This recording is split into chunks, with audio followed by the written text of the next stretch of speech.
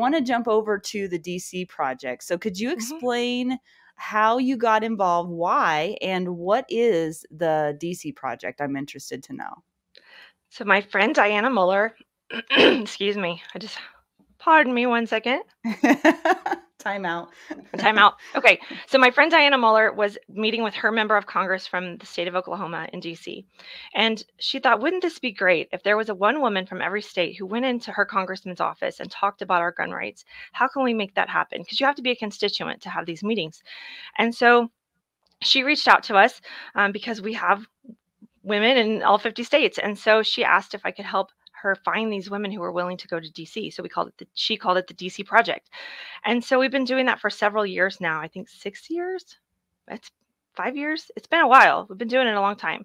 So Mhm. um, once a year, we go to DC and we bring a group of women and we wear teal uh, to counteract the visual of the Moms Demand Action groups because so many women are there with their red shirts demanding that legislators take our rights. And it's really important that the women on our side of the aisle speak up about that. So I go into the congressman's office and they think we're there to talk about gun violence. And I tell them that the women that demand to take our rights don't speak for women like me and there's moms out Mm. there like me that just want to protect our families and so we're able to have that conversation and it's so important that women lead their voice to that cause because it's a different perspective when women can talk about the right to protect myself and my family it's it really pulls at the heartstrings of the other side Mhm.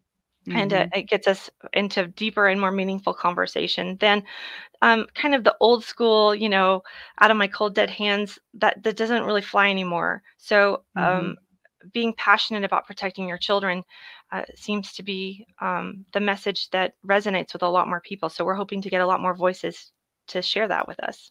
Yeah, that was one thing that I was going to ask you about was how do you advocate for mm. people to reach out to family or friends who may not be gun friendly? And it sounds like that you already gave me that answer. But that well, there's a lot of we have a lot of resources. about. Yeah, and DC Project, we put together some resources, some talking points. Um, we put out a really great flyer for Thanksgiving. So if you're going to Thanksgiving dinner with your anti-gun friends, here are some things to talk about. your anti-gun Mhm. family.